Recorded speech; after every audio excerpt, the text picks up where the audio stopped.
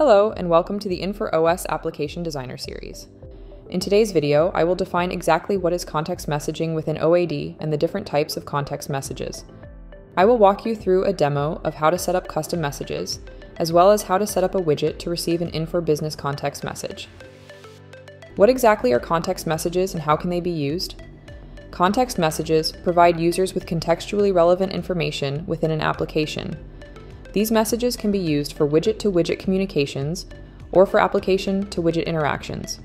Within OAD, there are two types of messages that can be defined custom context messages and Infor Business context messages. Custom messages can be sent or received by widgets, and these allow for widgets to interact with one another. A simple example of this would be a customer listing widget sending the customer number as a context message to another widget allowing it to filter the orders based on the customer number that was received. The second type is an Infor Business context message. These types of messages can be received by a widget, which allows widgets to interact with data from a separate application. These types of messages are intended to be used by widgets residing in the Smart panel. A simple example of this is a user selecting on a customer in M3. An Infor Business context message is sent containing the customer number, and in return, the customer sales widget in the Smart panel will filter based off that customer number that was received. Context messages can be managed in the Context Messages view from the navigation bar. In this page, you can view, edit, or delete existing context messages. Additionally, you can use this view to launch the Context Messaging Wizard, which will allow you to create a new context message. The Context Messaging Wizard will step the user through the process of building a context message. In this wizard, you can define the name and description, the message type, the message schema, as well as the message parameters. Now that we have covered the basics on context messaging, let me walk you through a demo on how to build a custom context message. Starting in Portal, I have an existing workspace that contains two widgets. One is a simple customer listing widget, and the other is a customer orders widget. Currently, these two widgets are independent and do not interact with one another. I want to create a context message that will send the customer number from the customer listing widget to the orders widget so it can filter by the customer that was selected. To do this, I'm going to switch over to App Designer from the OS landing page and select the Context Messages page from the navigation menu on the left. Here you can see a list of all the existing context messages. We want to create a new message, so let's select the New Context Message button from the top right corner. Let's give it a name and description and click Next. Here I can select the type, and in this example, we are going to use a custom context message. In step 3, we can define the message schema. Give it a unique name and define any properties you want to include in your schema. Here you can include multiple properties, however, for this example, we only want to send the customer number. Click the Add New Body property to add the property to the context message object.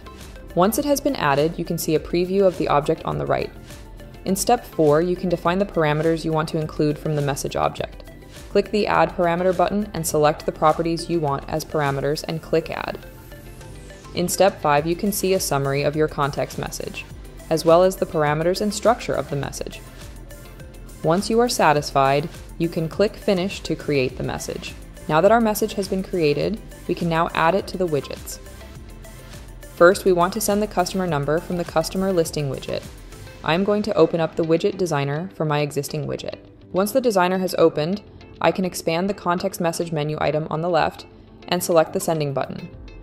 This will open the context message dialog where I can select the context message we created from the dropdown. I can also click the note icon on the right to view additional details on the message such as the structure and the parameters.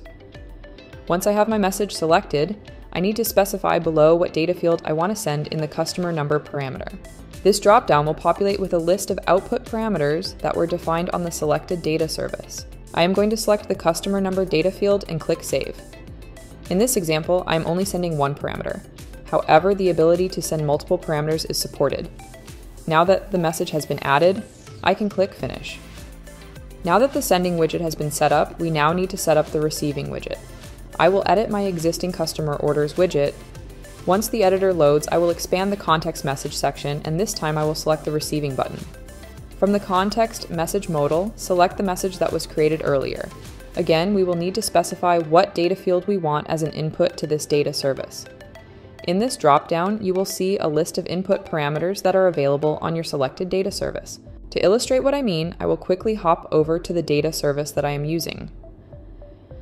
You can clearly see here that I have one input parameter defined on this data service. I want my data service to receive the customer number from the first widget and use it to filter the data on the second widget. So now I will select the same customer number input field to receive the message. After that, we can save and finish. Both the sending and receiving widgets have now been fully set up, and I will go ahead and republish and redeploy my widgets into my workspace. Now if I refresh my workspace, you can see when I change the customer now on my customer listing widget that the customer orders will now filter based off the customer number that was being sent in the context message. Lastly, you can add the context viewer widget to a workspace, and it will allow the user to preview any messages that are being sent. This can be particularly useful when a user is developing multiple widgets with multiple messages being sent at once. In this next demo, Let's walk through how to set up a widget to receive an Infor Business context message from an application. As you can see here, I have an M3 customer screen with a customer sales widget in the Smart panel. I want my widget in the Smart panel to update with customer sales data every time I switch customer records. I can utilize the Infor Business context message that is being sent from M3 to filter based off customer ID. As you can see in the context viewer, every time I select a new record, the message will update with the new customer ID. We will need this message when creating our Infor Business context message in OAD. I am going to go ahead and copy the contents of the context viewer to my clipboard. Next, I will switch over to OAD and will open the context messages view. Let's add a message by clicking the new context message button. First, give the message a name and description, then select Infor Business context as the message type. On step 3, we can define the message body, paste in the context message you copied earlier into the context message body field, then click the Validate JSON button at the bottom to validate that the JSON schema is correct. If the schema is valid, you will see a preview of the object on the right. On step 4, we can define the parameters we want to use from the schema. Click the Add Parameter button and select the ID1 field, where the customer number field is contained. Click the Add button to add the parameter. Here you have the ability to add multiple parameters from the schema. However, for this example, we are just going to add the one. You also have the ability to give the parameter an alias to help make it more readable. I am going to keep the default and click Next to see a quick summary of my message. I will click Finish to create the message, and now we are ready to add this to our receiving widget. I am going to open up my existing widget in the designer and expand the context message section on the left. I will click the receiving button to open up the context message modal. Here I will select the message we just created in the dropdown. Now I need to specify what data field from the data service I want to receive the message. If I quickly hop over to my data service that is attached to this widget, you can see I have four input parameters to choose from. I want to receive this message as a filter on customer ID, so let's select the filter data field to populate that customer ID value. Click Save and Finish, and now we are ready to republish and redeploy our widget. Once that has been done, I will switch back over to M3 and do a refresh. Now you can see anytime I switch customers in M3, the widget on the right will read that Infor Business context message, and will filter by customer ID to show relevant customer data. This concludes today's demo. I hope that after this, you have a better understanding of how you can leverage context messaging in OAD to create a more robust user experience. If you enjoyed this video, make sure to give it a like and subscribe to the Infor YouTube channel for future videos. Thanks for watching.